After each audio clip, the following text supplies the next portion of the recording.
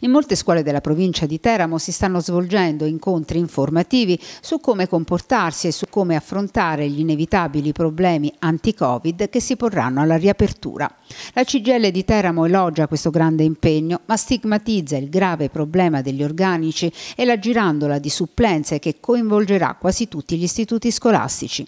Nei mesi scorsi, si legge in una nota del sindacato, era stato lanciato l'allarme sui posti che sarebbero rimasti vuoti. Le immissioni in ruolo non hanno coperto tutte le disponibilità. Non ci sono state nemmeno le 260 programmate nei diversi ordini. Il numero delle supplenze per quest'anno in provincia di Teramo supererà le 500 unità tra docenti e ATA.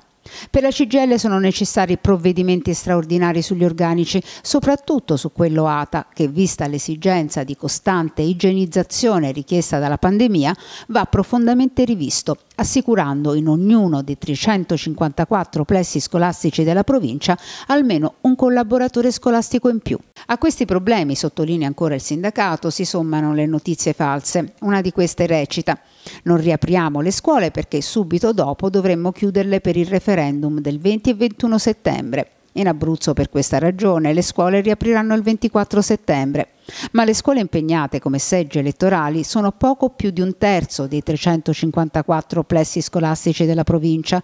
A Teramo, ad esempio, sono 13 le scuole sedi di seggio elettorale, mentre ci sono 44 plessi. Negli altri si potrebbe ad esempio riaprire tranquillamente. Se questo tempo dovesse servire per apportare le migliorie necessarie alle strutture, allora sarebbe ben speso. Se invece rappresenta un ulteriore elemento di confusione, beh, questo per la CGL di Teramo non è utile.